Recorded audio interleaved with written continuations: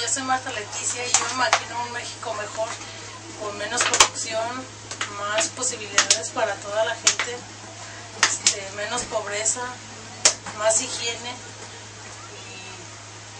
y menos corrupción.